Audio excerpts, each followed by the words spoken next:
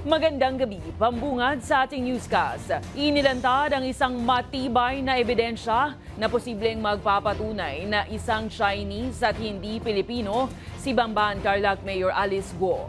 Base yan sa mga dokumentong isiniwalat ni Senator Sherwin Gatchalian na nanggaling pa mismo sa pamilya Guo. Samantala, nagpadala naman si Guo ng liham sa chairman ng PAOK upang itanggi ang mga alegasyon ng ahensya na nauugnay sa kanya sa iligal na operasyon ng POGO. Narito ang ating kumpletong balitang A to Z. Posibleng ipinanganak sa China at dumating lang sa Pilipinas sa bilang teenager ang kontrobersyal na alkaldeng si Alice Guo. Ito ang isinawalat ngayon base sa mga bagong dokumentong isinapubliko ni Senator Sherwin Gatchalian. Kabilang rito ang Chinese passport ng isang Guo Huaping na ipinanganak noong August 31, 1990 sa Fujian, China. Galing mismo sa pamilya Guo ang mga dokumento na isinumite sa Board of Investments para sa kanilang aplikasyon para sa Special Investors Resident Visa. Sa naturang aplikasyon, ang itinuturong nanay ni Guo Huaping ay ang isang Lin Wenyi ang pangalan na paulit-ulit na lumalabas sa mga papeles ng mga negosyo ng mga Go. Itong taong si Wen Yi, I'll just show to, parang pinapakilalang, pinapakilalang nanay niya no, doon sa mga taga doon sa Valenzuela.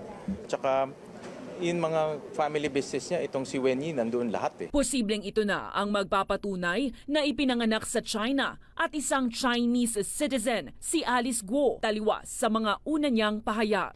Your Honor, lumaki po ako sa Bamban Tarlac. Lumaki po ako sa farm. Una nang sinabi ni Guo na na-delay ang registration ng kanyang Philippine birth certificate kung saan nakalista ang isang Amelia Leal bilang kanyang ina pero walang record ng Amelia Leal sa Philippine Statistics Authority. Samantala, ngayong araw din, nagsumite ang kampo ni Guo ng personal na liham kay Executive Secretary Lucas Bersamin. Dito ay tinatanggi ni Guo ang lahat ng alegasyon laban sa kanya, kabilang na ang pagpapatayo ng Baofu Land Development para sa money laundering at pogo operation at umano'y pagkakasangkot sa human trafficking at kidnapping na naganap sa Pogo Hub sa kanyang bayan. Hiling rin ng alkalde mula sa PAOK ang patas na investigasyon habang tiniyak ang kahandaang makipagtulungan sa mga otoridad sa ikalulutas ng kaso. It's simply a letter addressed to the Executive Secretary as the chairman of the uh, PAOCC, um, just expressing the mayor's intention that